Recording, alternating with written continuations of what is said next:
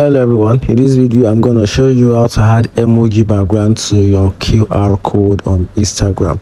So first to do that you have to open your instagram then you tap on profile menu then you're going to tap on share profile then you're going to tap this option up here till it brings out emoji.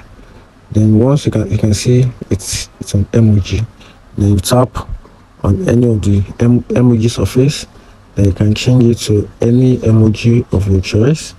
You can change it to angry emoji or you can tap on any emoji. Then change it again to this. And also tap and change it to this. You can tap and change it to any form of emoji you want if you find this video helpful like and follow for more. Thank you